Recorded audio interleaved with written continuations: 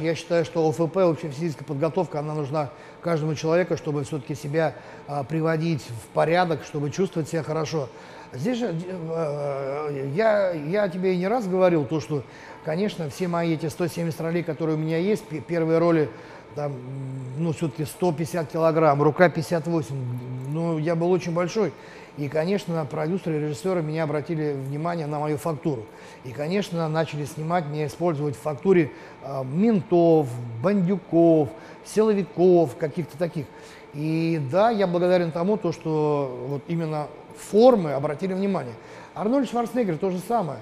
А, да много, да много количества, тоже средства Сталлоне. Много-много-много-много-много людей, которых вот именно из-за фигуры а, продюсеры, режиссеры стали обращать внимание, и у них как бы все сложилось в жизни удачно.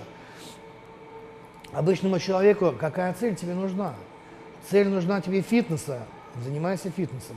Нужна тебе цель велосипедиста, да ради бога, зарабатывая, значит, э, свой авторитет, уважение среди, э, э, значит, велосипедистов. Не-не, какую себе цель ставишь?